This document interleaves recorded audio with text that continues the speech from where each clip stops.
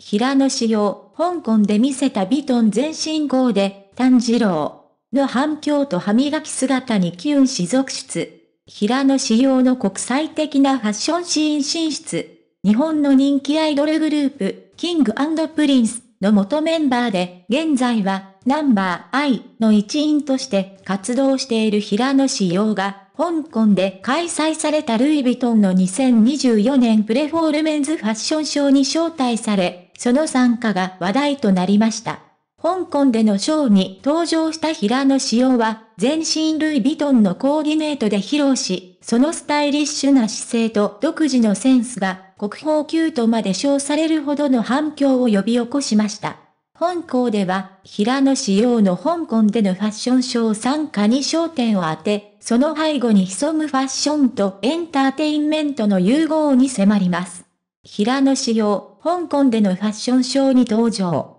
平野仕様が香港で開催されたルイ・ヴィトンのファッションショーに参加したことは多くのファンやファッション愛好者にとって大きな驚きとなりました。彼が SNS を通じて公開した写真には、グリーンのダミエ柄スーツで身を包み、そのスタイリッシュな雰囲気がひときわ際立っています。この投稿に寄せられた反応は非常に熱狂的であり、国宝級、最高に素敵だった、世界の平野仕様にまた一歩前進、世界のセレブの仲間入り、といったコメントが続々と寄せられました。また、平野志陽が歯磨きしながら鏡で自撮りした写真も投稿され、これに対しても多くのファンが、歯磨き紫陽くんの写真が宝物、歯磨きしながらの鏡越しに目が合うのキュンとしすぎてしんどい、といったキュートな反応を見せています。彼の自然体な一面が、ファンとの距離感を維持しつつ、新たなファッションアイコンとしての地位を築いていることが伺えます。炭治郎の連想平野仕様の個性的なファッション。一部のファンからは、平野仕様の緑×黒の一末模様、ダミエ柄のスーツがアニメ、鬼滅の葉の主人公である炭治郎を連想させるという興味深い指摘がありました。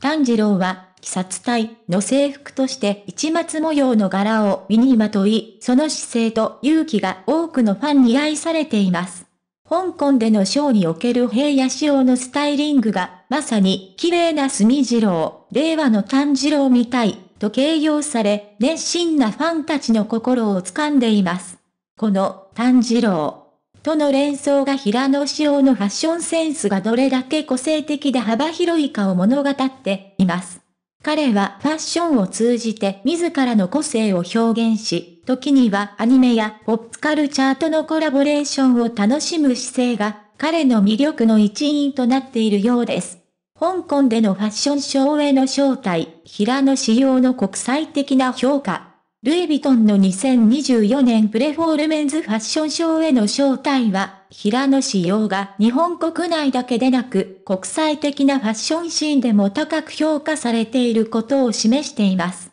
一般的に、このような高級ブランドのファッションショーに招待されることは、その人物のファッションセンスや影響力が世界的に認められていることを意味します。平野志陽が香港でのショーに参加したことは、彼がアイドルから一歩進んだファッションアイコンとしての地位を確立していることを示しています。日本のアイドル出身者が国外でのファッションショーに参加することは、日本のポップカルチャーが世界に広がりつつある現在の時代背景とも合致しています。平野仕様の活動は日本だけでなくアジア全体や世界中で彼の独自のファッションセンスが受け入れられていることを物語っています。平野仕様の新たな一歩とファッションの未来。香港でのルイ・ヴィトンのファッションショーへの参加は、平野仕様がエンターテインメントとファッションの両方において新たな一歩を踏み出した瞬間であると言えます。